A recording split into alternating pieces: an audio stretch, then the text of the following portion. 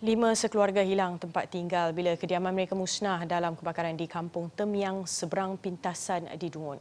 Keadaan cuaca kering dan struktur rumah yang diperbuat dari papan mengakibatkan api marak dengan pantas dalam kejadian pukul 12.10 tengah hari tadi.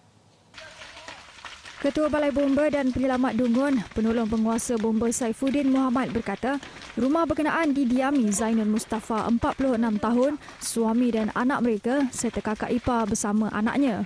Ketika kejadian, kesemua penghuni tiada di rumah. Kejadian disedari abang mangsa yang tinggal bersebelahan. Bomba menerima panggilan kecemasan pada pukul 12.25 tengah hari.